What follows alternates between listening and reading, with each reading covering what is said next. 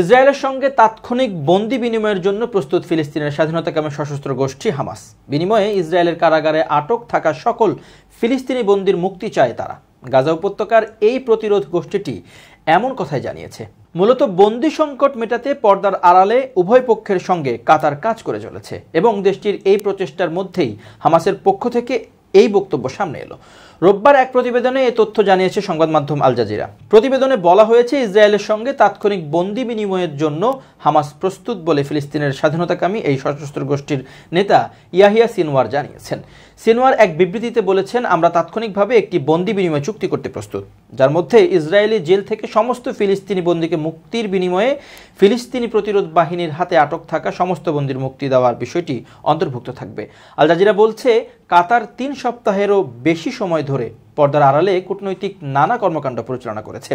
গাজায় শান্তি প্রতিষ্ঠা এবং বন্দীদের মুক্তি নিশ্চিত করতে হামাস কর্মকর্তা ও ইসরায়েলের সাথে দেশটি কথাও বলে চলেছে। এই মধ্যস্থতার অংশ হিসেবে গত সপ্তাহে দুই আমেরিকান বন্দী, যাদের একজন মা ও মেয়ে এবং দুই বয়স্ক ইসরায়েলি নারীকে মুক্তি দেওয়া হয়। সংবাদ মাধ্যমটি বলছে, ইসরায়েলের মধ্যে উনিশটি কারাগার রয়েছে এবং অন্য একটি কারাগার রয়েছে অধিকৃত পশ্চিম তীরের ভেতরে। এসব কারাগারে হাজার হাজার ফিলিস্তিনিকে বন্দী করে রেখেছে ইসরায়েল। এদিকে হামাসের সঙ্গে বন্দি বিনিময় চুক্তির বিষয়টি যুদ্ধকালীন মন্ত্রিসভায় আলোচনা হয়েছে। তবে এই বিষয়ে কোনো সিদ্ধান্ত হয়নি বলে জানিয়েছেন ইসরায়েলি প্রধানমন্ত্রী বেনিয়ামিন নেতানিয়াহু।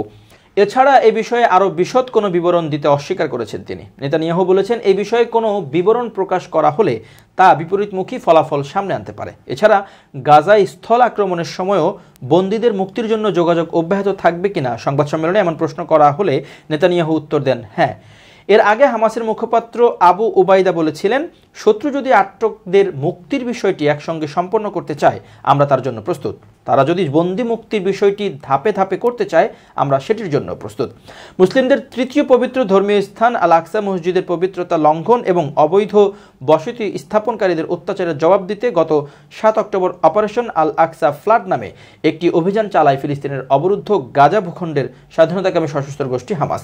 হামাসের এই হামলায় নিহত হয়েছেন কমপক্ষে চোদ্দশো ইসরায়েলি। নিহতদের মধ্যে দুশো ছিয়াশি জন সেনা সদস্য রয়েছে বলে আনুষ্ঠানিকভাবে নিশ্চিত করা হয়েছে। হামাসের হামলায় আহত হয়েছেন আরও চার হাজার চারশো জনেরও বেশি ইসরায়েলি। এছাড়া আরও দুশো উনত্রিশ জনকে বন্দি করে গাজা নিয়ে গেছে হামাস। হামাসের হাতে আটক বিপুল এসব বন্দির মধ্যে ইসরায়েলি, আমেরিকান দ্বৈত নাগরিকও রয়েছে। প্রধানমন্ত্রী নেতানিয়াহু নিজেও গাজায় আটক সব বন্দির নিঃশর্ত মুক্তি দাবি করেছেন।